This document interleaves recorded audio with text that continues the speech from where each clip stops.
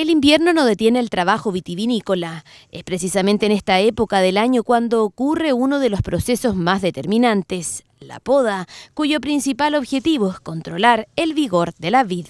El vigor eh, quiere decir cuánto crece durante la temporada de primavera y verano. Este vigor va a impactar directamente en la calidad del vino que nosotros pretendemos producir. Por lo tanto, en estricto rigor uno podría decir que la calidad del vino que tenemos en la copa se define en el momento de la poda.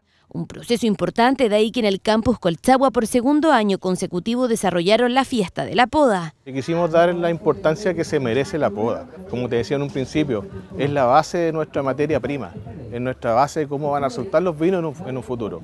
Si bien es cierto, no es el 100% ni la totalidad de cómo va a resultar, pero sí es un proceso. El primero es la poda charlas técnicas, demostraciones de maquinaria, muestra gastronómica y la competencia de poda en el viñedo experimental fueron parte de las actividades.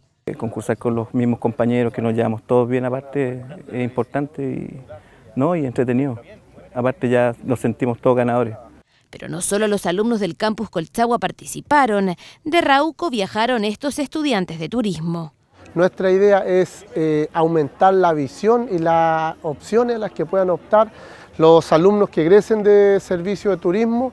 ¿Por qué? Porque aquí tienen una real opción de seguir estudios superiores en el área eh, de, turismo y sobre todo lo que es el turismo enológico, que es lo que nos ofrece esta universidad establecimientos educacionales, agricultores y empresas, todos invitados a esta fiesta y que demuestra una vez más la importancia de la producción vitivinícola para la comuna de Santa Cruz. Esto marca el, que no solamente todo tiene que redundar en lo que es la vendimia, sino que es un proceso general que esté durante todo el año una temática distinta dentro de los planteles vitivinícolas. Nosotros como Ministerio de Agricultura valorizamos mucho el aporte de la universidad, el aporte que ha hecho en investigación, el aporte que ha hecho en desarrollo tecnológico, pero también el aporte que ha hecho en vinculación y en transferencia de los conocimientos que se obtienen en esta universidad hacia el entorno.